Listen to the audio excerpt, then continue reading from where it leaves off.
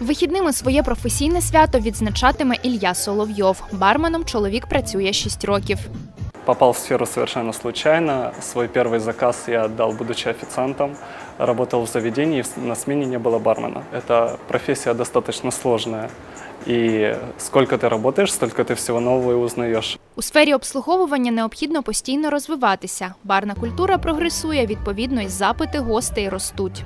Если, если в прошлом, ну так 10 лет назад, грубо говоря, возьмем, э, коктейли с одних составляющих были простых. Сок, алкогольный напиток, э, неважно, сиропы, там, безалкогольные ра- различные напитки. То есть сейчас уже в ход идут более сложные компоненты. Пюре киви, допустим, да, пюре ананаса.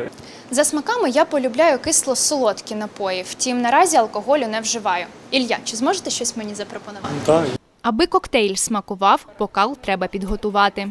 Есть э, хороший лайфхак – охлаждать э, посуду вот таким вот методом. Так он э, намного дольше будет сохранять свой охлажденный вид, и тем дольше он будет вкуснее.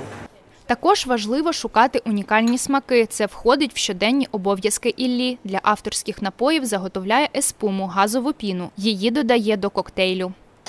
Давайте спробуємо. Смакота. Складністю своєї професії Ілля вважає спілкування з різними людьми. Все же понимают, что ты работаешь с людьми, люди попадаются разные.